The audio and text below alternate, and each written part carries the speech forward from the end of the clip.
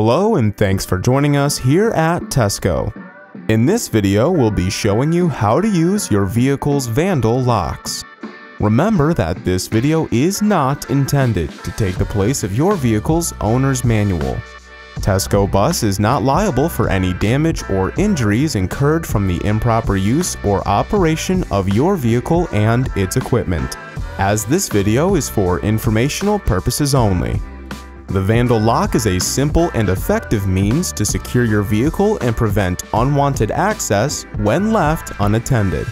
Doing so with a lock system connected to an interlock and alarm that prevents you from starting your vehicle when it's engaged.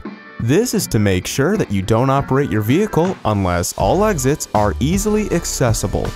It's important to keep all exits unlocked during operation in case of an emergency and the vehicle needs to be vacated quickly. Note that the Vandal locks on our units may not be of the same functionality or design as all vehicles that feature Vandal locks. On most of our units, the Vandal lock will look a lot like the one shown here. A single mechanism located at the rear door of the vehicle's body. It features a manual latch that you lift up, slide over, and then latch down, doing so to both lock and unlock this door. When engaged, it will prevent the vehicle from starting and will sound its alarm when you try to do so. Likewise, when the vehicle is running, attempting to latch this lock will also sound the alarm.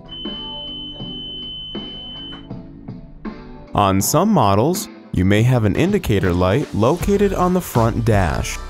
If you are unable to start your vehicle or the alarm is going off, this lock would be an important item to check. And of course, make sure it's unlocked before any trip and boarding any passengers.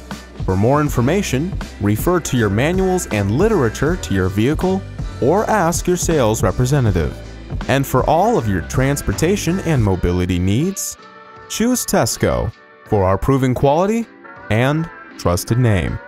Call, click, or visit today. Thanks for watching.